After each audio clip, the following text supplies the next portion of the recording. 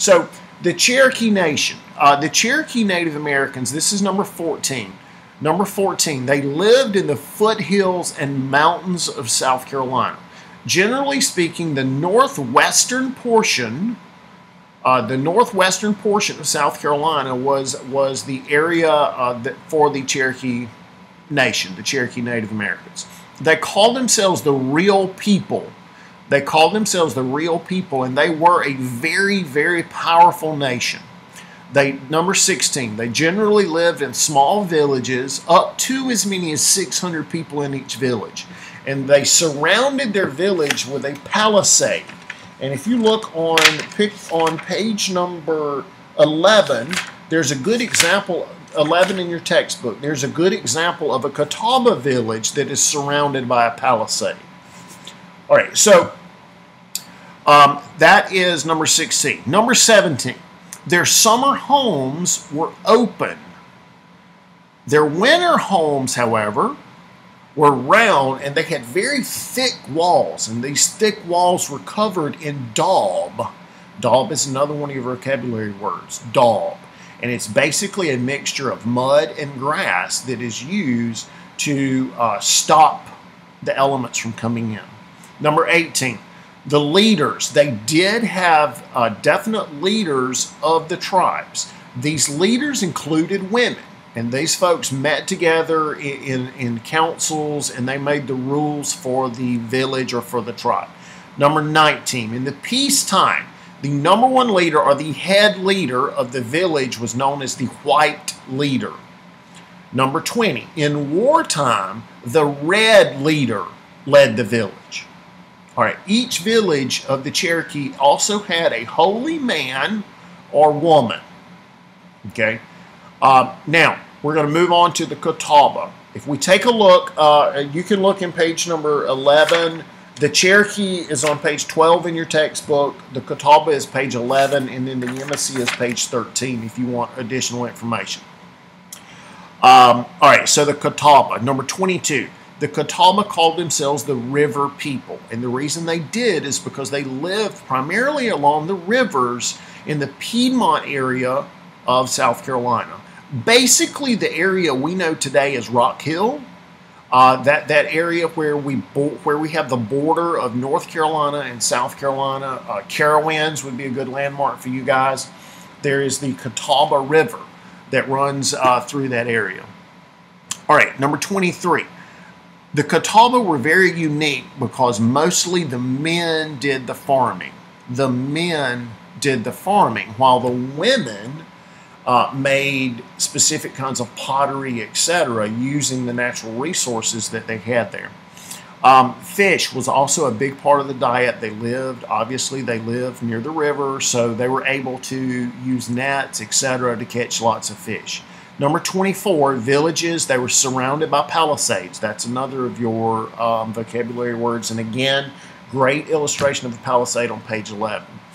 Um, okay, so number 25, the homes for the Catawba were wigwams. And the wigwams were basically, they had a structure of saplings, small trees made up the structure.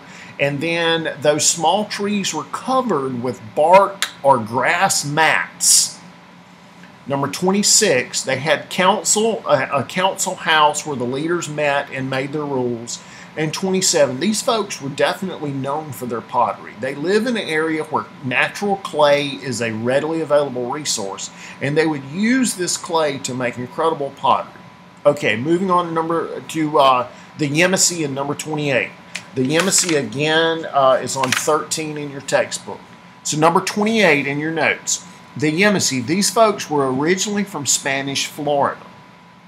They moved to South Carolina up around the Savannah River uh, primarily to escape persecution by the governor of Spanish Florida.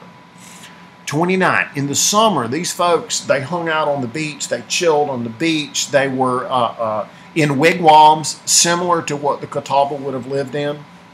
Uh, but it would have been covered in palmetto leaves because all the palmetto trees that's readily available.